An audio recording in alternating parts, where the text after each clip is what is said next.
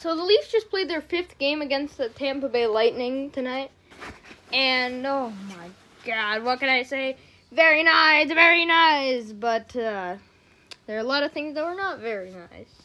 That's why I'm making this video. So let's get into it. So right off the gate, Leafs, they're looking real good. Like real good. See first period. New Nylander to Tavares. You know, you know, Nylander Tavares, Nylander puts it in the empty net, and you know, I thought, wow, with the way the Leafs are playing, they played pretty good after that. It's gonna be an easy game for us to win. It's gonna be an easy game, you know. I won't have to worry, and Toronto will be able to put it in the net. They could not. Foreshadow.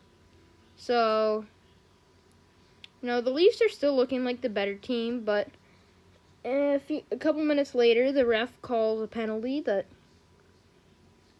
probably wasn't a penalty. Well, mm, whatever. The ref's the ref. And because of that, Hedman gets it to Kucherov, and really just a bad shot, bad save. And it's 1 1. Leafs still going like, you know, it's tied the Leafs should still be the better team. And they were. They were the better team. Good observation. But just a few short minutes later, while they're still the better team, I will say, Point gets it to Kucherov, who Samsonov maybe, and there's and this is where I go against public opinion. This wasn't really Samsonov's fault. Let's see. Two guys Oh, Got the puck. Kucherov's coming in. But look where Rielly is. He's just kind of standing there. So, play sets up. Has to to Cooch. Where's Rielly? No, he's not doing bad. Mm-hmm. And then, again, he's not on him. He's just kind of floating there. And they pass it, and they score. Now it's 2 1. So I'm like, wow, you know, Toronto might be playing worse now because that's what they do once they get behind, they play worse. They didn't play worse. They still were the better team. Until another power play that, you know, I think it was decently fair. And right off it, pass to Kucherov, and it's in. Three goals on four shots. Three goals on four shots. I'm like, wow. Now the Leafs will definitely be the worst team, right? Now I bet you they won't even get shots and Tampa will be dominating, right? No. And before I tell you what happened in the second, let's give a quick disclaimer. Because, uh, not much happened in the second. You don't believe me, huh? You don't believe me. Well, yeah. Don't know. Well, I don't think much happened, personally. See, so Kucherov again. Let's wait for it. Third period. Oh, yeah. Last time we checked off a couple seconds ago, we were six minutes left in the first, and now we just cut to the third.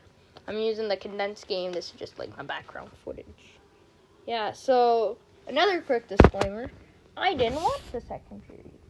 We had some company that came just to say hi, you know, and I don't know if you know this, but seeing family and company sometimes is a little more important than watching a hockey game sometimes you can't even watch that hockey. So we did that.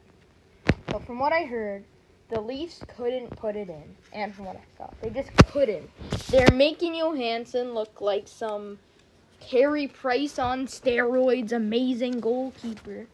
But really, he just they just couldn't put it in. There's nothing else to say. They just couldn't in the penalties that honestly weren't horrible calls were being called left and right for Tampa and that's pro that's probably the only reason why Tampa got any shots. And the Leafs aren't dominating.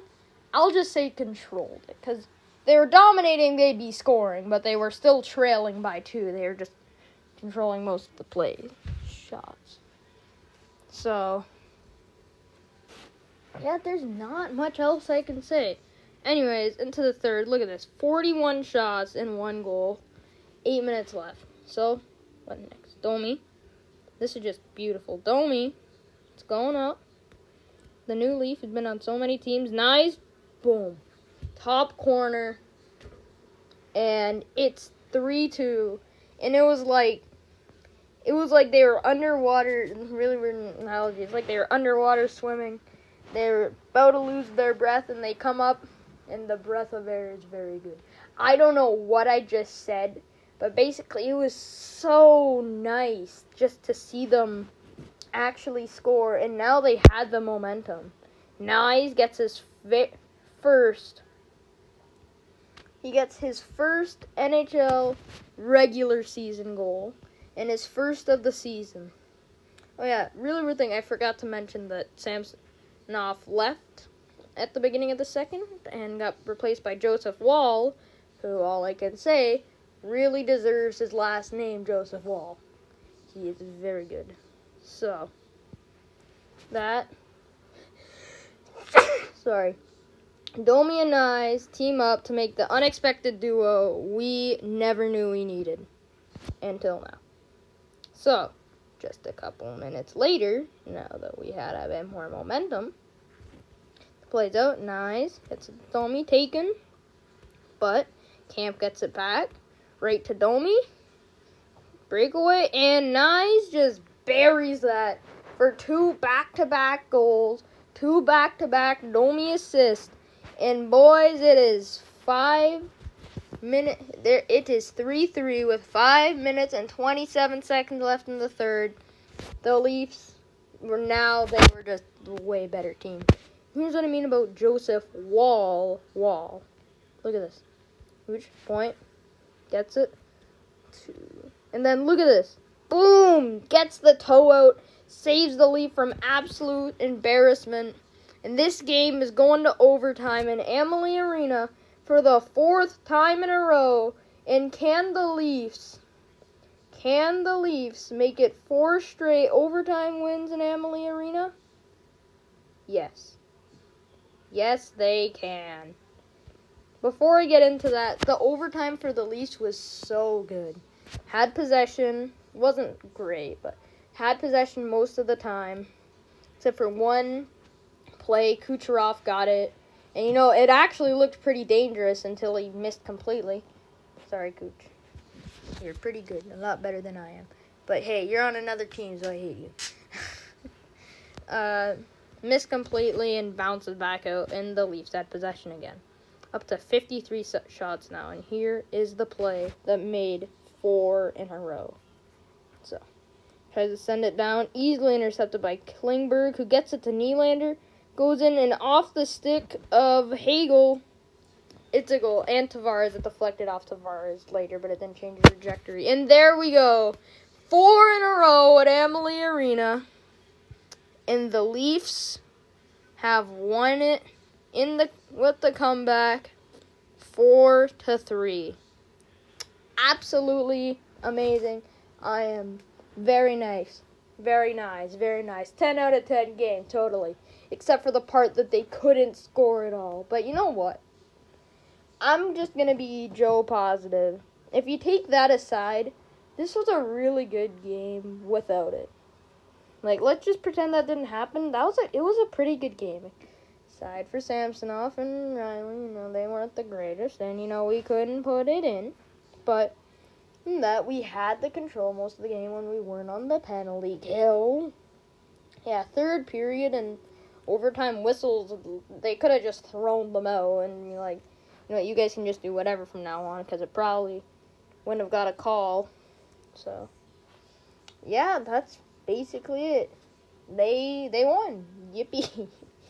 Uh, it's been real nice after the last two games, and yeah, no, I'm sorry I haven't covered them. It's just the Black game I couldn't. Well, actually, I was couldn't. Yeah, I was busy. I know. I'm sorry. By the time I did it, it would have been coming out like the evening. The Florida game would be on, and I was like, you know, it's too late. Florida game. Company too, so I couldn't do that. We had plans. I know, but hey, now it's Saturday. I can get this out tonight. Look at this. It's not because I don't want to cover the Leafs when they lose. I'm sorry. That's not it, I promise. Maybe when the playoffs come, but. Anyways, that's all I'm going to say for this video. Thank you for watching, and I'll see you guys in the next one. Bye.